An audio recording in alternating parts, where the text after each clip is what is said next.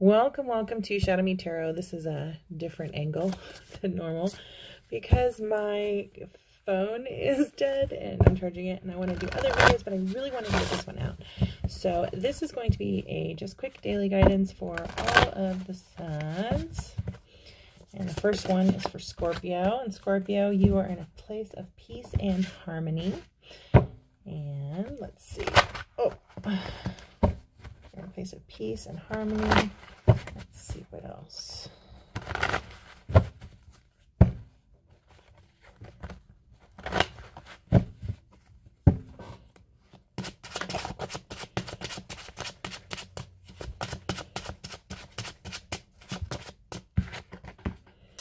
So it looks like we're in a place of peace and harmony, but we're maybe overcoming some codependency issues, um, some addictions.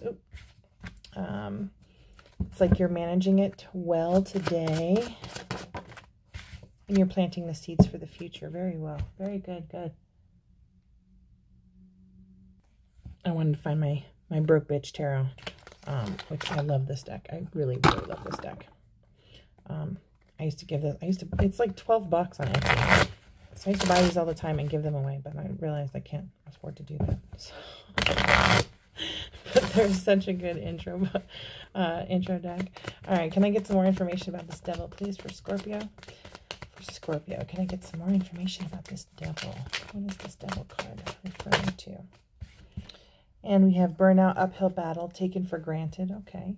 And then we have this Nine of Pentacles. Can you give me some more clarity on this Nine of Pentacles here?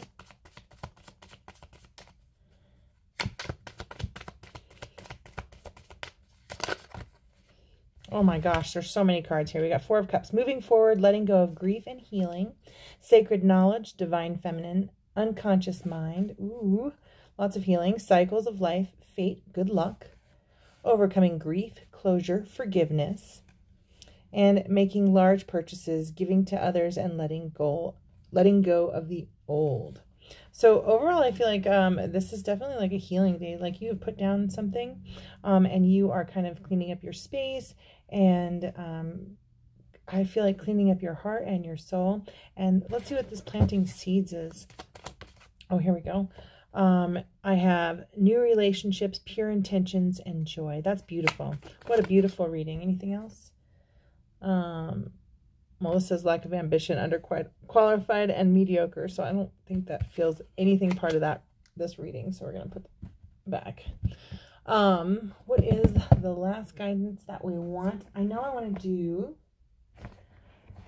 I think we're to do Getting Into the Vortex by Esther Hicks. This lady here, she's freaking awesome. Um, all right.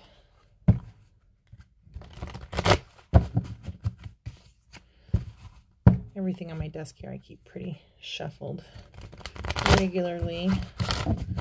Um, but if we're in this place of harmony and healing, um, and you're putting down um, your burdens, and you're just kind of, you know, clearing space and kind of um, finding space and forgiveness and kind of moving forward from something, um, you know, creating uh, new relationships and planting seeds for new relationships um, and joy is a I think ask and it is given. Is that the one I'm doing? No, we're doing getting into the vibration of it. So we're going to do um, getting into the vortex.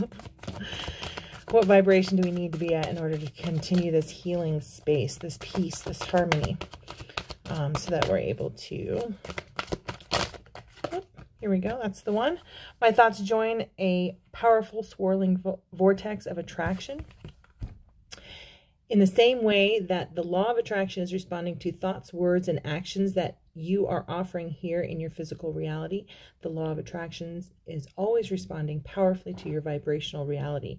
When the law of attraction, the universal manager of all vibrations, responds to the clarity of vibration offered by your expanding inner being, the result is a powerful, swirling vortex of attraction. There you have it. So that's this picture here. We'll show you. Oh, you can't even read it. Ugh. I need my phone back. All right, so it just says, my thoughts join a powerful swirling vortex of attraction. There you go. And you can't read that either. So there you have it. Thank you for your patience, Scorpios. I'm so glad um, at least I was able to do this while my phone charges. See you soon.